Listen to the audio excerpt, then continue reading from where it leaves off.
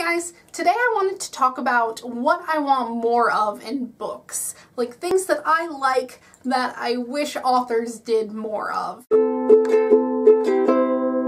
I don't even know what to call this video yet. I was looking on the YouTubes to see if there was a tag that was kind of like this, so I looked up something like book wish list tag. I'm actually a T-Rex when I type. And that's a completely different thing. That's like, I want this book in my possession. And this is like a list of things that I wish were in books.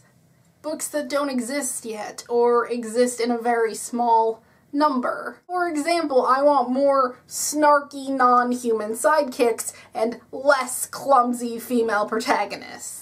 So this isn't a political statement, this is just things that I personally like to read about and wish there were more of. So okay, you'll see what I mean. Okay. More slow burn romances where they don't start off completely hating each other. I want female protagonists who have worked hard to acquire their skill set. Protagonists who actually deserve the quest or prophecy or whatever and aren't just thrust into fighting evil without knowing anything about it. I want more diverse casts of characters. Representation, bisexual representation, transgender representation, asexual representation, aromantic representation, all of the representation that these minorities don't normally get organized crime fighting, novels whose plots are like a comic book. Basically, I just want superheroes in novels. I just want all the superheroes, I want a cool headquarters and like teamwork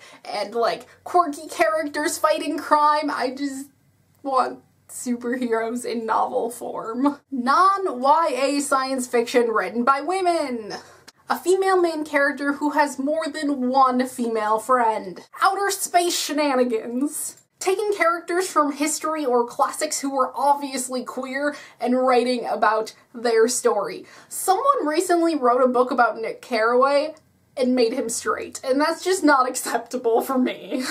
You guys know that I like my Percy Shelley and Lord Byron fanfiction. Lesbian pirate stories that's not erotica. Actually, any non-YA pirate stories that's not erotica. I have nothing against erotica, I just want people my age having some pirate shenanigans that doesn't include just having sex. Books that take place in the Midwest that's not Chicago or the Twin Cities and that's not written by Rainbow Rowell. I love Rainbow, but she's the only one. Scientists who aren't the bad guys. Snarky, non-human sidekicks. I know we have a lot of them, but there's always room for more talking dogs. Ghost stories that are more heartbreaking than creepy. Because I can't take the creepy, but I can take a ghost falling in love with a human.